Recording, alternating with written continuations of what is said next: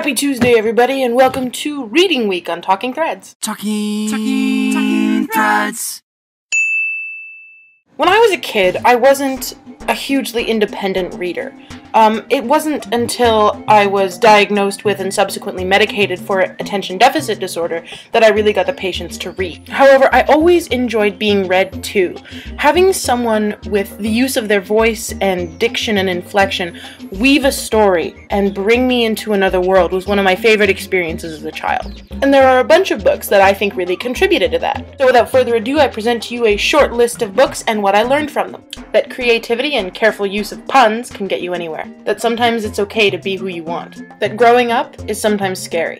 That anyone can be a leader no matter how small, and sometimes that means making sacrifices. That if you look hard enough, you'll always find the answer. That whatever's gonna happen is gonna happen. That comic books aren't just for kids. That drugs are cool and make you better at your job and that sometimes the nerdy guy does get the girl. I think one of the most amazing things about literature is the fact that it can be interpreted in so many different ways by different people.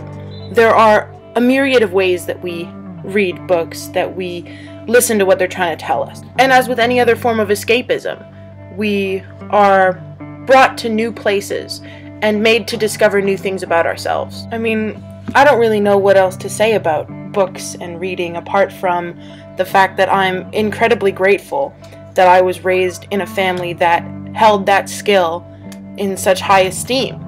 I don't think that I would be nearly the well rounded geek that I am if I hadn't read everything from Alan Moore to Arthur Conan Doyle. I guess the most important thing for me is to really read between the lines whenever you pick up a book.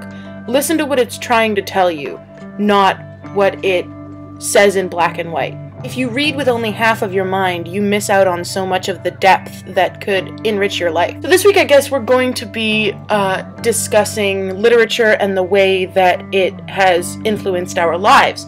And what I'd really want to know from any of you who feel like answering this is what genre of book do you go to when you need a comfort read? When it's rainy outside or you've had a crappy day and you just need to curl up on the couch with a book that'll make you feel good. For me, it's either uh, a good Sherlock Holmes story, uh, although that's I'm such a huge Sherlock Holmes fan that, that that's for like just about any situation, or uh, a good piece of sci-fi because sometimes I like to be reminded that there are other worlds I could be thinking about than the one I'm in right now.